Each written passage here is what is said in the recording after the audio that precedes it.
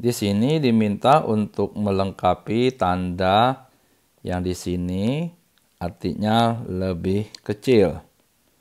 Dan tanda yang berikutnya yaitu yang ini, ini artinya lebih besar. Nah, jadi kalau kita lihat di sini berarti nah cara membedakannya kita bantu dengan tarik garis di depan tandanya. Maka ini adalah seperti huruf K, maka kita ingat kecil.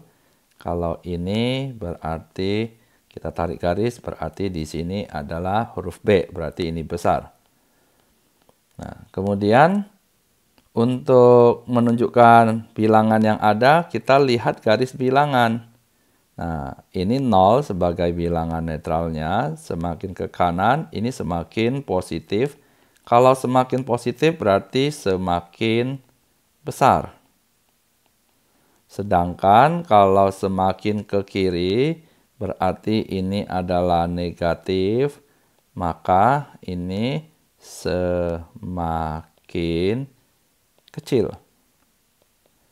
Sehingga kalau kita lihat urutannya 3 di 7, 3 di sebelah kiri dari 7, jadi kalau kita gambarkan, di sini posisi 3, di sini posisi 7. Berarti 3 akan lebih kecil dari 7. Untuk bagian B, minus 8 dan 6. Nah, kalau negatif berarti semakin kecil. Berarti jelas ini negatif 8 akan lebih kecil dari 6. Nah, yang C 6 dengan 5 berarti 6 di sebelah kanan 5 berarti 6 lebih besar. Kemudian bagian yang D-nya minus 6 dengan 9 berarti kalau negatif pasti lebih kecil. Berarti kita gunakan tanda ini nih ya. Ingat, ini tanda lebih kecil.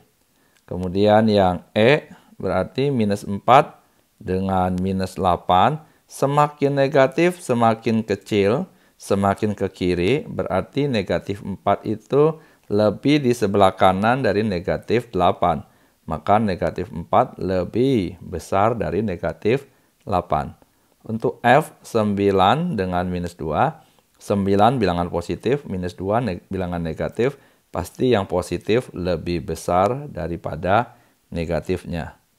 Untuk soal yang G di sini, untuk 8 dengan negatif 10 tentu yang positif lebih besar dari bilangan negatifnya.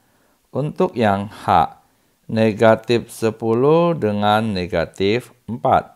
Semakin negatif semakin kecil karena semakin ke kiri. Berarti negatif 10 lebih kecil dari negatif 4. Demikian pembahasan kita, sampai jumpa di pertanyaan berikutnya.